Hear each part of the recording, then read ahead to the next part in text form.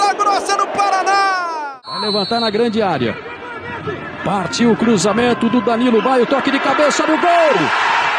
Gol!